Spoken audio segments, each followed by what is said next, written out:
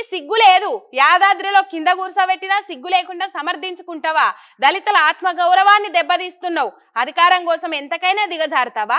Deputy CM పై బక్క జడిసన్ తీవ్ర వ్యాఖ్యలు. డిప్యూటీ సీఎం బట్టి విక్రమార్కపై కాంగ్రెస్ నాయకుడు బక్క జడిసన్ బక్క జడిసన్ తీవ్ర వ్యాఖ్యలు చేసిండ్రు. యాదాద్రిలో కింద కూర్చోబెట్టినా సిగ్గు లేకుండా తానే కూర్చుంటున్నారని బట్టి దళితుల ఆత్మగౌరవాన్ని దెబ్బతీస్తున్నారని మండిపడ్డారు. బట్టి తమ పార్టీ నాయకుడు కాబట్టి ఊరుకున్నానని లేదంటే అట్రాసిటీ కేసు పెట్టేవాడిని. పేపర్ యాడ్లో బట్టి ఫోటో తీసేసి రేవంత్ రెడ్డి ఒక్కడి ఫోటోనే వేసుకుంటున్నారంటే రేవంత్ మొహం చూసే ఓట్లు పడ్డాయని అనుకోవాలన్నారు.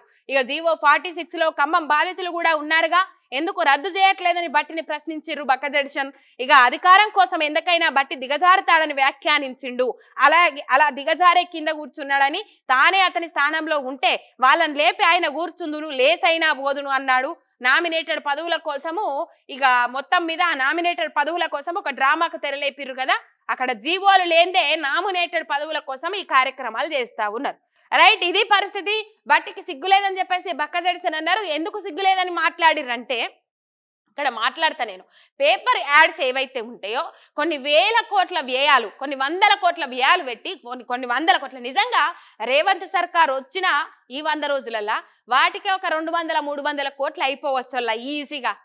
ఆ రెండు వందల మూడు వందల కోట్లు ఏవైతే ఉన్నాయో ఇలా ప్రతిష్టాత్మకంగా కట్టిన కాళేశ్వరం ప్రాజెక్టు మేడిగడ్డ పిల్లర్లు ఏవైతే కుంగిని అని మీరు మాట్లాడుతూ ఉన్నారో ఆ పిల్లర్లకు మరమ్మత్తు చర్యలు చేపడితే ఈ రెండు వందల మూడు వందల కోట్లు ఏవైతే అడ్డగోలుగా యాడ్స్ ఇచ్చుకున్నారో మరి ఉండాల్సిన వాళ్ళను ఉండకుండా చేసి వాళ్ళ ఫోటోలు పక్కకు తప్పించి మరి మీరు కావాలని మీరే పెద్దగా బ్రాండ్ అంబాసిడర్ లెక్క ఆ పేపర్ యాడ్కు మీరే ఆ రోజు బ్రాండ్ అంబాసిడర్ అన్నట్టు యాడ్ లేపించుకున్నారు. ఒక పైసలు పెడితే ఇలా మేడిగడ్డ రిపేర్ అవుతుండే ఆ కుళ్ళిన కుంగిన పిల్లర్లు. మేడిగడ్డ సాకు చూపెట్టుకొని ఇలా రైతుల నాగం చేసినారు మొత్తం మీద ఆ బట్టి విక్రమార్క ఫోటో ఏదైతే ఉన్నది ఎప్పటి నుంచి పగబట్టిరు అంటే ఆయన భార్య నందిని. నందిని ఎవరైతే ఉన్నారో వాళ్ళు బయటకు వచ్చి ఒక ఇంటర్వ్యూలో ఏం మాట్లాడిరంటే రేవంత్ రెడ్డిని కాకుండా బట్టి విక్రమార్కను ఆయననే సీఎం చేస్తామని అనుకున్నాము. ఒక్కసారి రేవంత్ రెడ్డిని అనౌన్స్ చేసే వరకు కండ్ల నుంచి రక్తం గారినట్టు అయింది నెత్తులంతా చల్లబడ్డది. సప్పుడు చేక అక్కడి నుంచి మౌనంగా లేచి వెళ్ళిపోయినా ఏడ్చుకుంటా అని చెప్పేసి ఎప్పుడైతే మాట్లాడిందో అప్పటి నుంచి బట్టి విక్రమార్క మీద పగబట్టిరు నెక్స్ట్ డే నుంచే కథం యాడ్స్ బంద్ అయినాయి. రైట్? నెక్స్ట్ డే నుంచే యాడ్స్ బంద్ అయినాయి. ఆ యాడ్స్లలో ఇచ్చే యాడ్స్ ఏవైతే ఉంటాయో ఆ యాడ్స్లల్లో పాపం బట్టి విక్రమార్క ఫోటో లేకుండానే అయింది. రైట్? బట్టి విక్రమార్క ఫోటో లేకుండా అయింది. బట్టి విక్రమార్క ఫోటో తీసేసి only Revanth Reddy photo ad వేయించుకున్నారు అది కనబడ్డది మనకు ప్రధానంగా.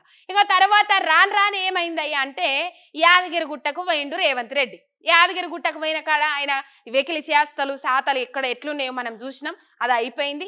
అది అయిపోయిన తర్వాత ముచ్చట ఏంటంటే ఇక్కడ కూర్చోబెట్టే ప్రక్రియ.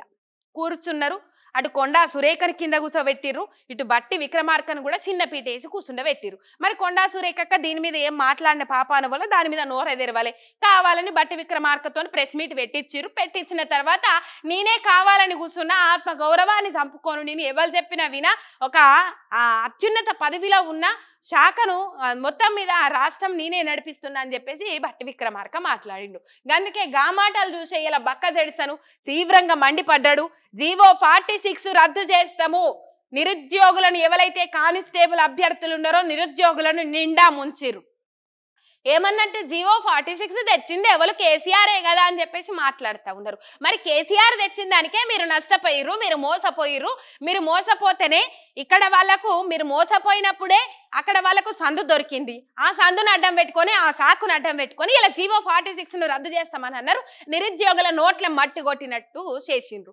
ముప్పై వేల ఉద్యోగాలు ఇచ్చినామని చెప్పేసి వచ్చిన వంద రోజులలో అని చెప్పేసి గల్లెగరేసుకొని చెప్తున్నారే. సోకాలు జర్నలిస్టులు కూడా ఇలా నిరుద్యోగుల సమస్య మీద మాట్లాడినోడు ఎవడు జీవో ఫార్టీ సిక్స్ గురించి రోజొక్క మీటింగ్ పెట్టిర్రు. రోజొక్కల్ని పిలిపించుకున్నారు. రోజో పది మందిని పిలిపించుకున్నారు పేపర్లల్లా మాట్లాడుకునేదందుకు. ఆ? పేపర్లల్లో మాట్లాడుకునేందుకు రోజు ఒక పది మందిని పిలిపించుకున్నారు. ఇలా మెట్లు ఎక్కుదామంటేనే జీవో ఫార్టీ సిక్స్ బాధితులేడన్న కనబడితే మొహం సాటేసుకొని ఆఫీసులు తెలిసే ఉన్నాయి కాబట్టి ఆఫీసులకు పోతే సెల్ దొబ్బై రీడికాయలు ఎందుక చిర్రా మీరు అన్నట్టు మాట్లాడుతూ ఉన్నారట. ఇది నిరుద్యోగుల పరిస్థితి. జీవో ఫార్టీ సిక్స్ రద్దు చేస్తామని చెప్పేసి ఇలా నిరుద్యోగులను అమాయకులను చేసి నిరుద్యోగుల బతుకులతోనే ఆడుకున్నారు మీరు ఇవాళ ముప్పై వేల ఉద్యోగాలు యాడికేళ్ళు ఇచ్చిర్రు సార్లు? యాడ నోటిఫికేషన్ ఇచ్చిర్రు? యాడ నోటిఫికేషన్ పడ్డది? ఏడన్నా ఉద్యోగం ఏడన్నా ఉద్యోగాల నిమిత్తము ప్రభుత్వ నోటిఫికేషన్ విడుదల చేసిర్రా? ఆ పాత నోటిఫికేషన్ గ్రూప్ వన్ రద్దు చేసి ఐదు వందల అరవై మూడు పోస్టులు నూట ఆరు పోస్టులు వెచ్చుకుంటా ఆడవాళ్ళకు అక్కడ పోస్టులు అనేవి తగ్గించేసిర్రు. ఏమన్నంటే మహిళలకు పెద్దపీట వేస్తామని మాట్లాడతారు వీళ్ళు. మొత్తం మీద ఇది